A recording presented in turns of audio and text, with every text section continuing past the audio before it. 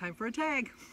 But today is uh, Wednesday, June 17th, and I was tagged by Joan over at Joan's Pointed Plate for a Tuesday tag. Um, Tracy over Trials of a Long Hair Girl does these every Tuesday. I was tagged, I didn't notice it till last night, so it's a Tuesday tag on a Wednesday. How's that sound? I like that. I like the sound of that. But uh, I'm glad she tagged me. I am going to tag um, Robbie over at Freki Fit Wolf, Gina at Gina Pearson, um, Ange over at SMAC Vision, and um, Chelsea over at Mom in Her 30s. Those are the people I'm going to tag. So go. I'll leave a link to their channels down below. I'm also going to leave a link to, to Joan's channel and also to Tracy's channel. Uh, so go over there and see what their answers are. So let's get started because we know I'm a little long-winded sometimes. Um, the name of the tag is fashion and style, this or that. I'm going to be looking down at my iPad for the uh, questions. Uh, jeans and a tee or a suit? Either one, either if it's a, a, man or a woman, jeans and a tee. I just think that you just look so sharp. And, and, a nice pair of jeans, not a ratty old pair of jeans that you've had since the 30s, you know. Um, a, a, good pair of jeans and a nice t-shirt. Not like the t-shirt on that commercial where the guy has not a U, has a U-neck instead of a V-neck. Um, you can look pretty sharp. You really can look pretty sharp. Uh, I prefer to wear jeans. I wear jeans all winter.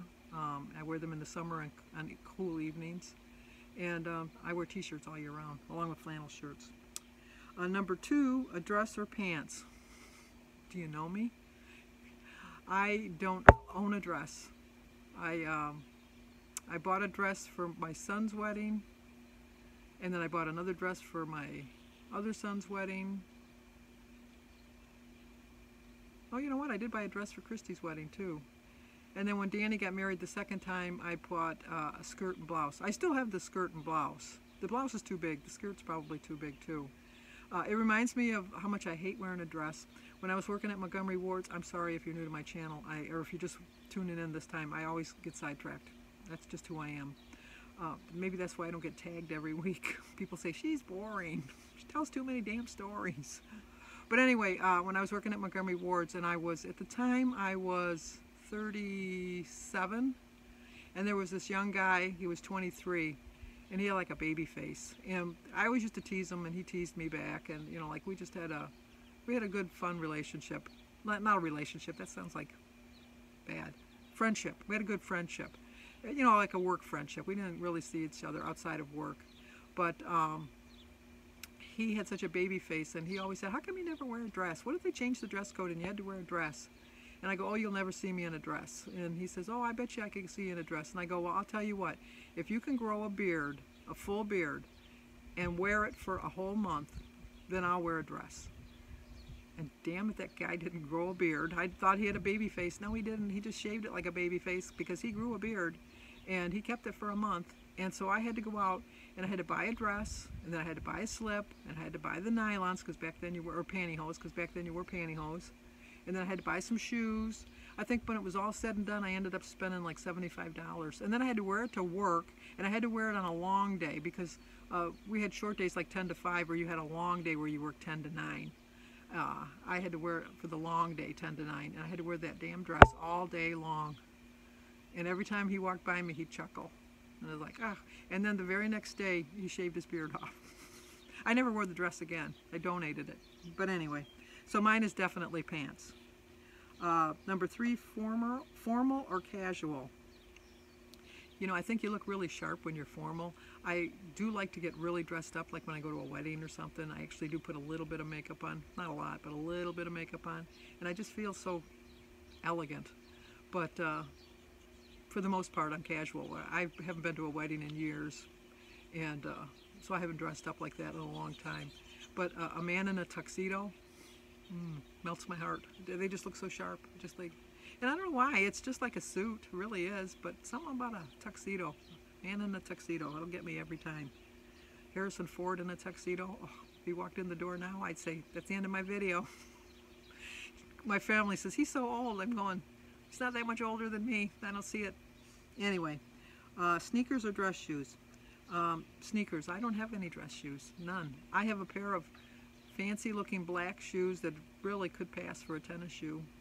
that I wear with my dress pants because I've reached an age. People don't look at my feet, so I don't really care. I want to be safe and secure on the floor when I'm walking. And uh, I used to have like when I did get dressed up, when I had to go to a wedding and wear a dress, I did have like um, I guess they would be called pumps. See, that just shows you I'm not really a girl. I don't think I'm really a girl because I don't know the jargon for everything. But I think if you only have like a little one inch heel, it's called a pump. Or is that a flat? No, flat's no heel. Anyway, that's neither here nor there. I have a pair of black shoes that uh, where are my dress shoes, which aren't really dress shoes, but sneakers I probably have probably about 12 pair of sneakers. Uh, and I match my outfits with my shoes. That's about the only thing I do. I'm I got a shoe fetish now that I think about it. But I hate feet, so I don't know why. That's that's odd.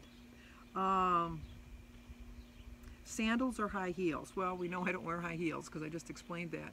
I don't wear sandals either, but if I had to choose between the two, I'd pick sandals. I don't feel comfortable walking in a sandal. Um, maybe I just haven't found the right sandal, but uh, I haven't uh, I haven't worn sandals in a long time. I have like um, I guess they're really called shower shoes that when I go to the lake or go to the cottage just to walk down to the beach, you just slip them on. Maybe they're considered sandals, I don't know.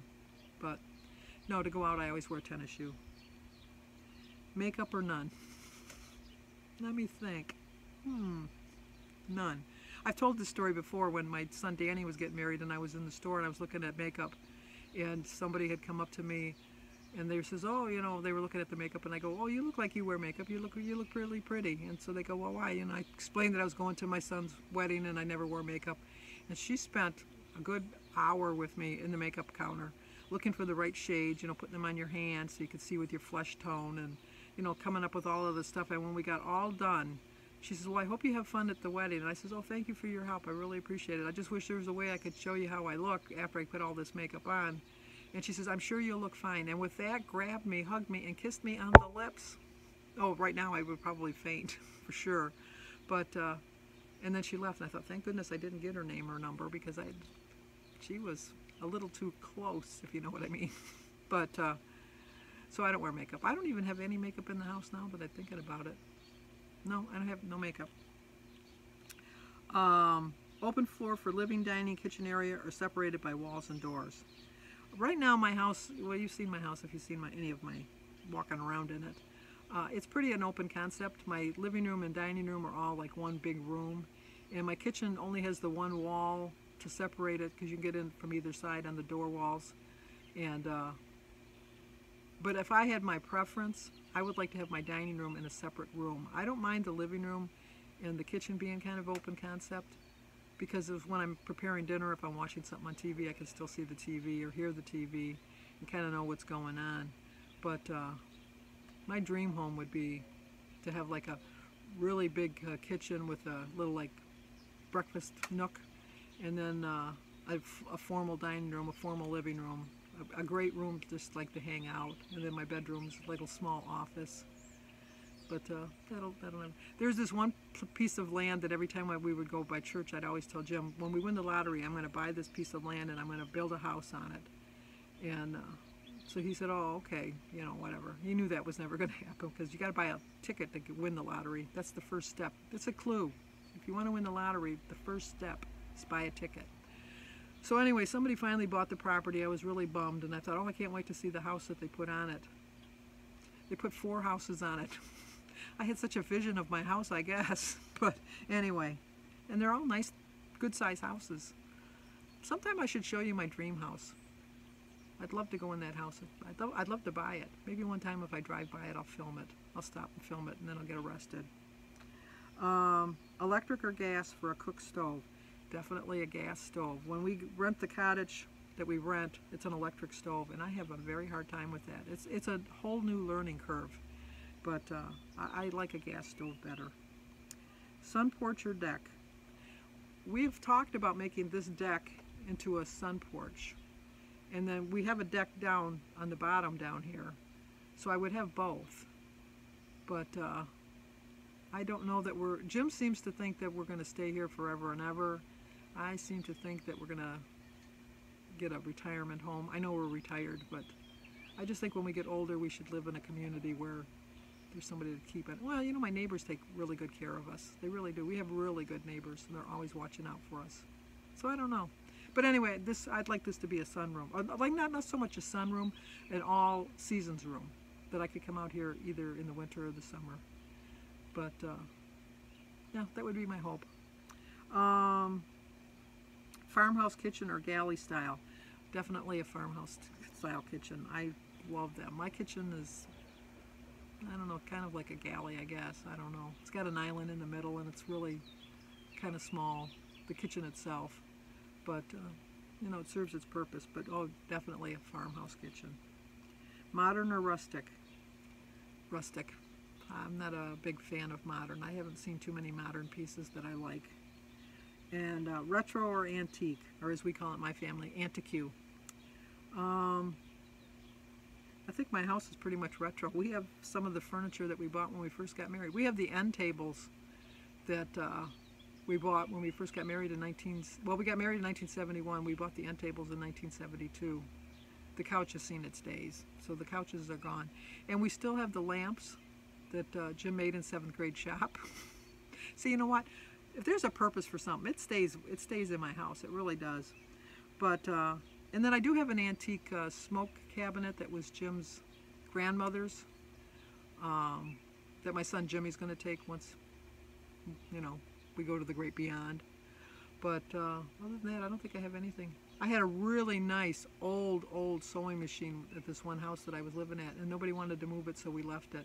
It was one of those Singers that went into the cabinet and folded down, and you had to pull it up, and it was a piece of furniture, or it could be the sewing machine. It was like from the 1930s. I could kick myself that I didn't make them take that. Not that I ever sewed on it, but it was a nice little piece of furniture. So anyway, um, that's going to do it. I really, you know, you wouldn't think I'd get hummingbird, hummingbirds so close to the pool with the kids there, but I do get a lot of hummingbirds on that feeder, and I don't understand why. We used to have an owl there, but it was the birds used to sit on the owl. a lot of good that did. But uh, anyway, as a reminder, I'm tape, taping. I'm tie, tying. I'm not going to tie you up, and I'm not going to tape you up either. I am tagging Robbie over at Freki Fit Wolf, Gina at Gina Pearson, Angela over at SMAC Vision, and Chelsea over at Mom in Her 30s. So go over and check out their channels, and 13 minutes, that's not too bad for me. So if you're new to my channel, please subscribe. I do a um, daily vlog. On Saturdays, I do a meeting highlights. Um, occasionally, not very often, but I do a cook with me. And I do like to do shout outs. I like to encourage other people's channels. So um, that's it. So thanks for watching. Subscribe, comment, like, share. You know the you know the drill. So always stay safe.